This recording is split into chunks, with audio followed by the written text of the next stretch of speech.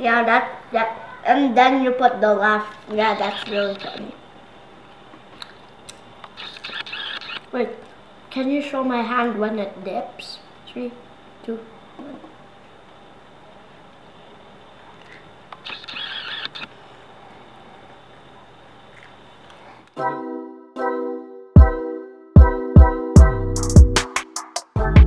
Hi friends, today we're going to be making ham and cheese rolls.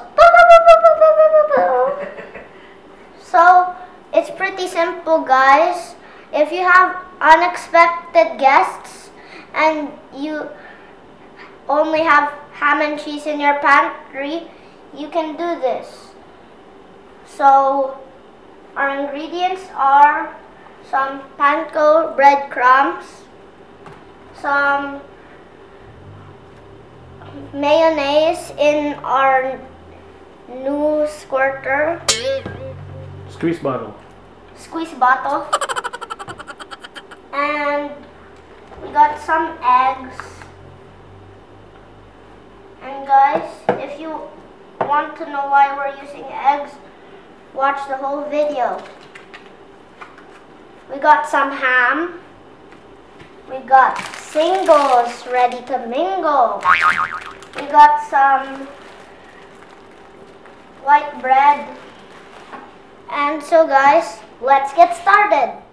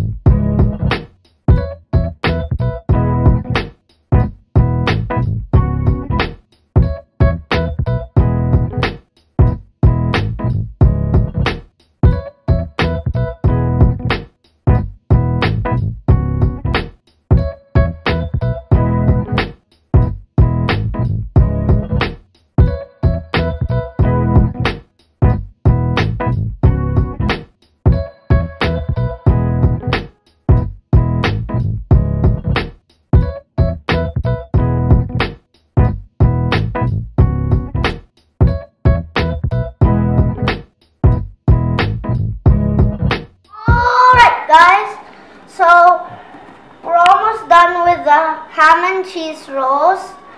While we wait for the oil in the fryer, we're gonna do the dip on this side. So guys, I'm just gonna move here.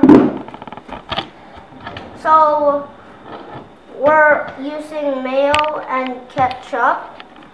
So what we're gonna do, so we're gonna put the ketchup and mayo in here. It's it doesn't matter how much mayo or ketchup you want. We're gonna make it a 50-50. Uh, So what we pretty much have to do is put in both of these in here and then mix it. So let's get started.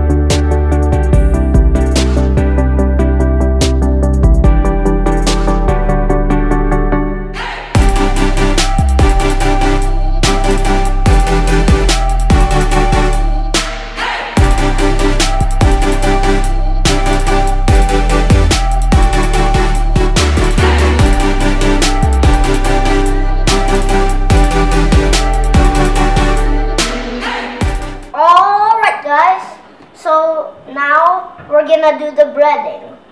So what we pretty much have to do is we put we put the ham and cheese rolls inside the egg wash and we have to make sure we soak up all of this, even the sides. And then we we do the same thing but we're not soaking it up. We're we're putting it in the breadcrumbs. So let's get started.